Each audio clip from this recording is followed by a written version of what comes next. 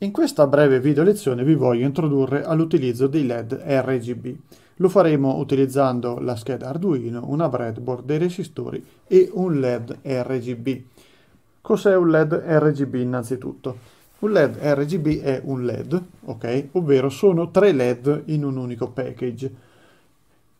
Questo ci permette, comandando singolarmente ciascuno di LED, di generare un colore diverso. Per esempio, se volessimo solo il rosso, possiamo accendere solo il LED rosso. Per il blu accenderemo solo il blu, per il verde accenderemo solo il verde, ma nessuno e nulla ci vieta di accenderne più di una alla volta. Quindi potremo accendere il rosso, il verde e il blu contemporaneamente per ottenere eh, il bianco.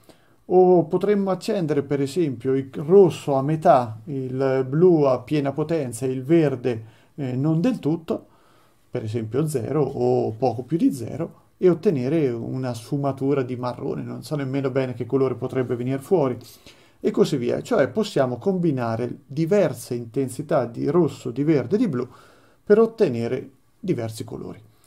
Quanti colori possiamo ottenere? Beh, ce lo dice la matematica. Noi, per esempio, con un convertitore ad 8 bit, quale quello di Arduino, quindi possiamo avere un generatore PWM ad 8 bit, quindi con 256 livelli, Fondamentalmente abbiamo 256 livelli sul rosso, sul verde e sul blu, quindi in totale abbiamo 8 più 8 più 8, 24 bit a disposizione e quindi facendo un semplice calcolo 2 alla 24 fa 16.777.216 diversi colori.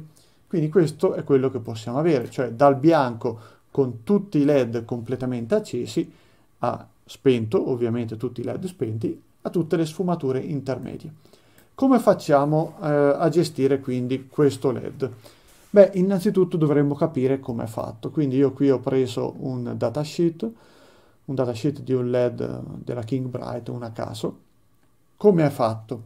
Vedete che fondamentalmente ha la classica forma del LED da 5 mm, infatti qua è scritto diametro 5, e ha non solo a questo punto due terminali ma ne ha quattro, quindi avremo quattro reofori, il più lungo dei quali è quello comune. Allora qui eh, fate attenzione, abbiamo la versione a catodo comune, cioè vedete che i tre LED, quello rosso, blu e verde, hanno il catodo in comune, mentre i tre anodi sono separati perché ovviamente dall'altra parte avremo la possibilità quindi di pilotarli singolarmente. Abbiamo la possibilità ovviamente di scegliere un catodo o un anodo comune, io adesso ho scelto un catodo comune. Perché? Perché mi stava comodo, perché eh, così vado a dare energia ai LED che voglio eh, accendere. Con l'anodo comune devo lavorare in logica invertita, ma ne parleremo, adesso eh, non vi fissate su questo. Allora, quindi abbiamo, vedete qua lo schema, il catodo è il 2 ed è il più lungo, sull'anodo comune sarà sempre eh, quello più lungo qui è anche scritto catalogo, poi l'1 è il rosso, il 3, quindi questo qui è il blu e il 4 è il verde, ok? Quindi abbiamo i quattro terminali che ci servono. Poi scendendo giù ovviamente nel datasheet possiamo trovare eh, le luminosità, le varie cose, le varie frequenze o lunghezze d'onda della luce emessa dai singoli LED, possiamo vedere le correnti assorbite, per esempio generalmente 30 mA o cose di questo tipo. Una parola su queste correnti. Allora, 30 mA sono troppi per un output di Arduino, ok? Nessun microcontrollore eh, di per sé è in grado di dare 30 mA su un'uscita digitale. Scordatevelo, lo bruciate. Quindi dobbiamo pilotarlo con una corrente inferiore. Io nell'esercizio che tra poco vi farò vedere, l'ho pilotato con circa 10 mA, cose di questo tipo. Tanto vanno più che bene per avere un'idea di come funziona. Poi per applicazioni concrete dovremo capire come fare. Ok? Quindi magari dovremmo mettere dei, dei transistor, degli amplificatori, qualcosa, ma non è questo il momento. Adesso capiamo la tecnica di pilotaggio. Cos'altro ci dice il datasheet? Ci dice, va bene, qua le frequenze o lunghezze d'onda, qui in nanometri, del blu, del verde e del rosso alla temperatura canonica di 25 gradi centigradi. Qui vedete, vedete la corrente di forno, cioè la corrente diretta nel LED, fondamentalmente è un diodo, quindi 10 mA abbiamo circa 1,8 volt, 1,85 ne dovremo tenere conto per dimensionare i resistori. Vi dico già che io qui ho messo dei resistori da 330 ohm, quindi ho calcolato da 5 volte una caduta di 3,3 volte, ecco che arriviamo a 1,7, 1,8 e abbiamo circa 10 mA, ok? Quindi, questo è il calcolo molto semplice. Ovviamente con 10 mA abbiamo una luminosità relativa rispetto al picco dichiarato qua sopra, nelle, nei dati qui sopra, eccoli qua, abbiamo una luminosità pari a circa la metà. La luminosità standard, quella relativa a 20 mA, l'abbiamo appunto con 20 mA e è quella dichiarata qua sopra. Ok, quindi non è questo adesso che mi interessa, non voglio avere una super luce, mi serve di capire se tutto funziona.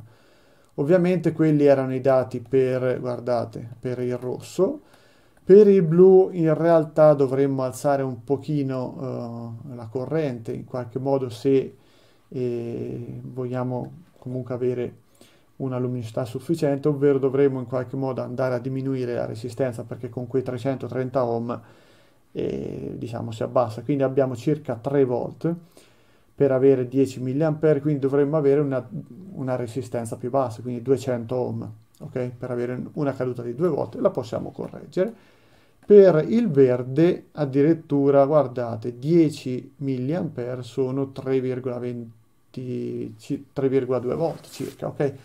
Quindi più o meno siamo ai livelli del blu, cambia poco.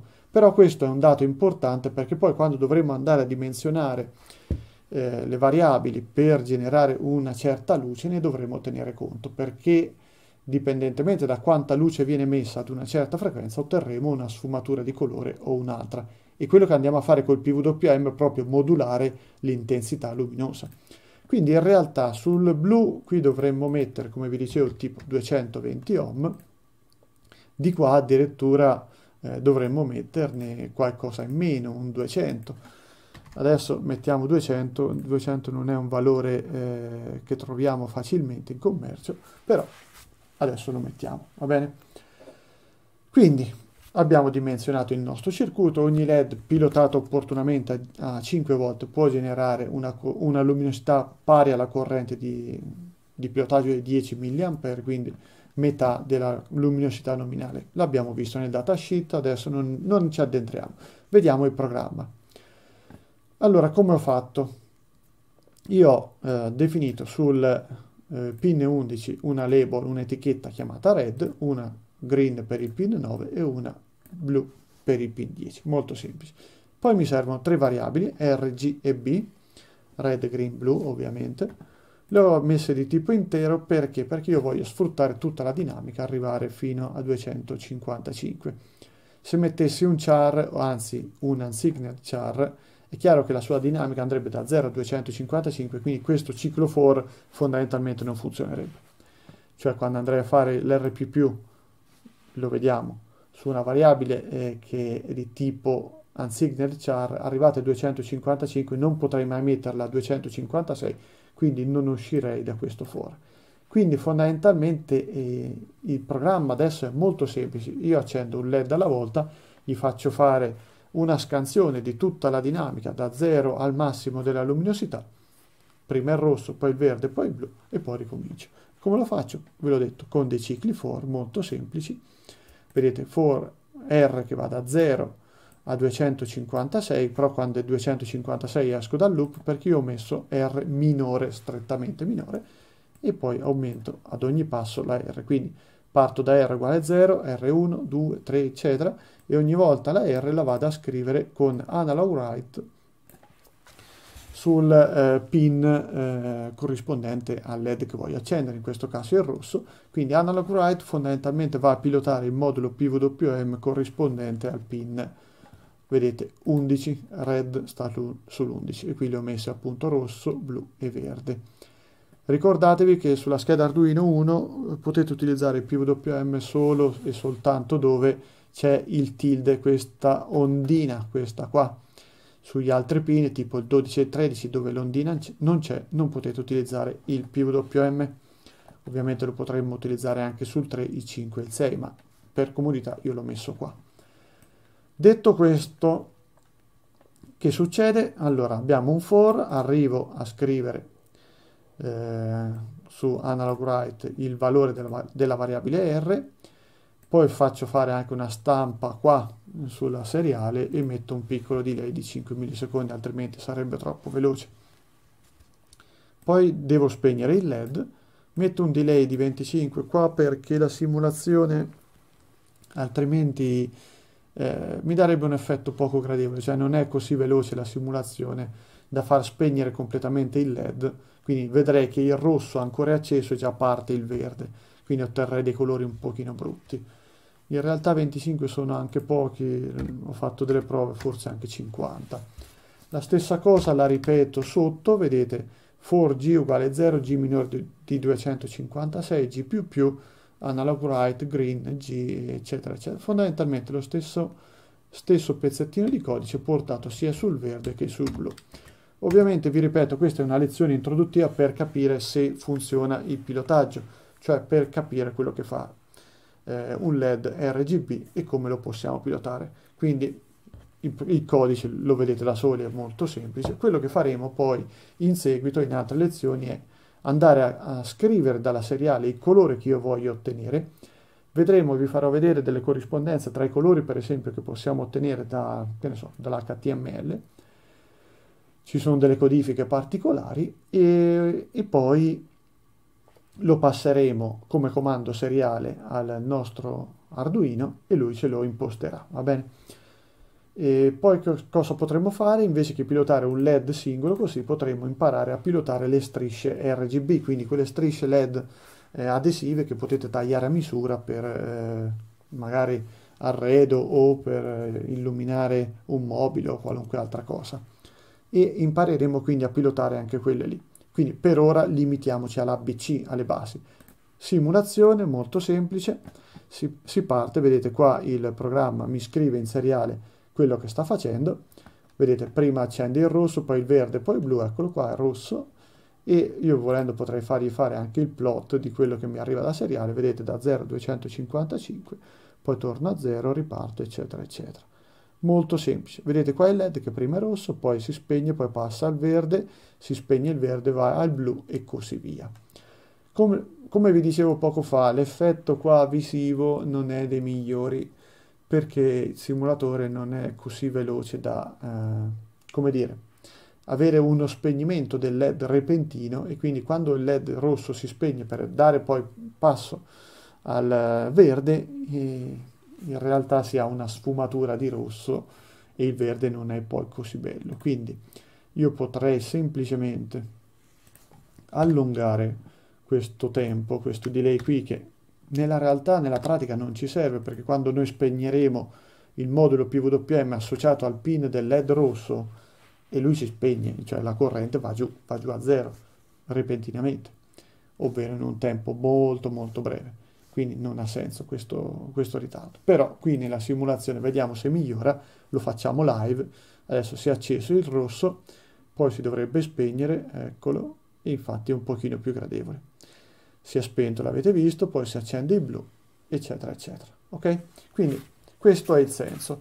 Ovviamente eh, vi consiglio di cominciare a mischiare i colori, ok? Fate un programma dove voi eh, accendete più eh, LED contemporaneamente, per esempio potreste accendere il rosso insieme al verde insieme al blu con sfumature diverse, ovvero cercate di capire come eh, creare dei loop eh, annidati, non annidati, vedete un po', esercitatevi per capire quello che eh, può generare un LED di questo tipo, cioè tutte le varie sfumature. Qui io ovviamente ho acceso un LED alla volta, quindi o è blu, o è rosso, o è verde. Potreste provare a mischiarli e vedere quello che succede. Per le prossime lezioni, ve lo dico già, dovremo conoscere un pochino di elettronica, ovvero dovremo imparare a pilotare dei transistor. Quindi se non avete confidenza con i transistor, pensate a studiare un pochino di elettronica, per prendervi un corso di elettronica potrebbe darvi una buona mano. Ok? Alla prossima!